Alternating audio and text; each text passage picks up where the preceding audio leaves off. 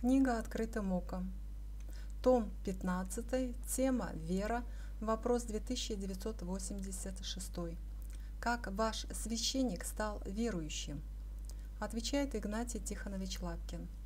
Это немалое чудо, что наш священник верующий. Деяние 6.7. И Слово Божие росло, и число учеников весьма умножалось в Иерусалиме, и из священников очень многие покорились вере – кавычки открыты. Как я стал верующим в Бога, кавычки закрыты, задаю такой вопрос. Надо ответить бы сразу, но сразу и затрудняешься. Всю жизнь уже прожил, а такой вопрос себе и не задавал.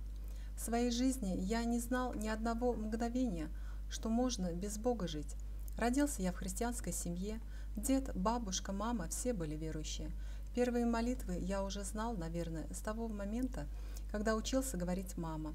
Зимними вечерами, сидя на русской печи, под треск углов у избы от мороза и завывания метели в трубе, мать учила нас Иисусовой молитве, Богородице и Отче наш.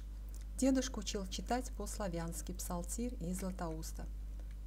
Силу молитвы я испытал в раннем детстве и твердо знал и верил, что если буду с молитвой идти даже ночью через лес, со мной ничего не случится опасного – только однажды в детстве поколебалась моя вера, когда я восьмилетний, наслушавшийся учительницы, что коммунисты – самые честные люди, которые, мол, желают добра и счастья всем людям на земле, и Бога нет.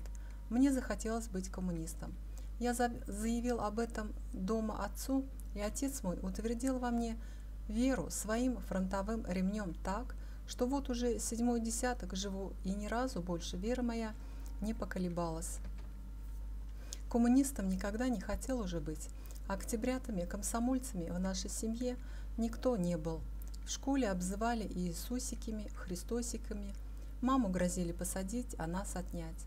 Но она все это мужественно выдержала и сохранила нас от безбожества и вселила нас веру в Бога настолько, сколько знала сама, не умея читать и писать.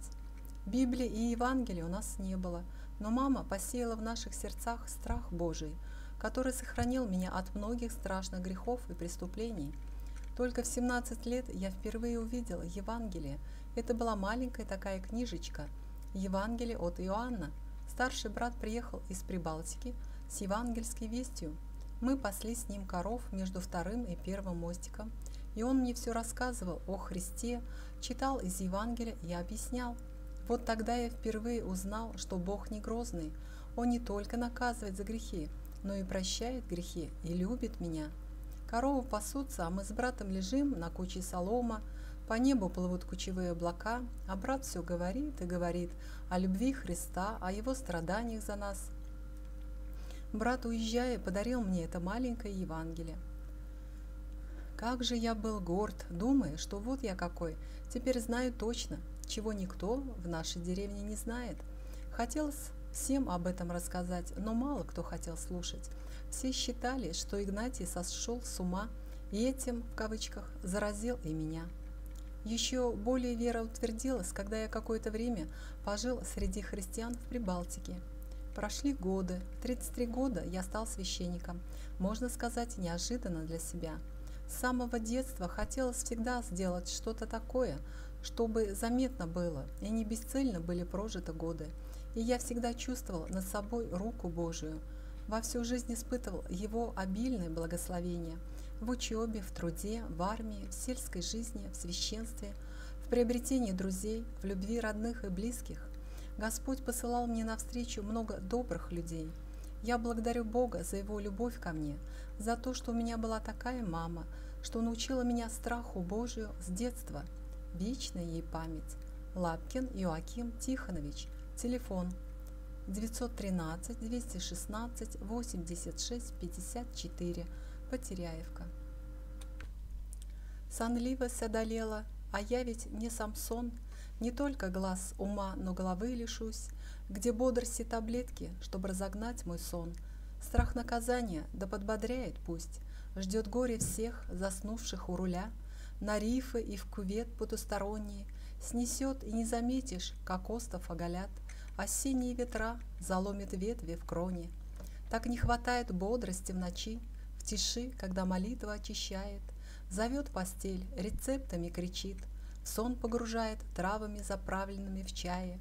Беда немалая, излишняя сонливость, потеря времени, маразм и ожирение, подобен мертвецу, и что бы ни случилось, таким не достучаться отойдешь с презрением.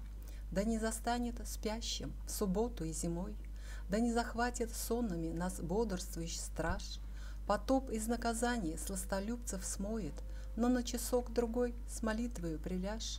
И не секрет, что сон особенно приятен в усладу при акафистах, канонах и молебнах. Зевание и качание нам невозможно спрятать. В дыму из ладана наш мозг валун окрепнет. Во сне и откровения нечаянно приспичат. А от кого они? От Бога ли? От бесов? Немного полежишь, по статусу стал нищим – брюжащим, вороватым и с ароматом мерзким. В усладу сон при праведных трудах, особенно тому отдал, кто ужин бедным. Легко и на молитву он встанет без вреда, с приятностью псалмы священные пропеты. Одолеваю сон гимнастикой и бегом, кровь разгоняя в жилах по мозгам. Не опоздать бы к цели, не оказаться бедным, себя за волосы не рвать и не таскать. 4 января 2006 год Игнатий Тихонович Лапкин.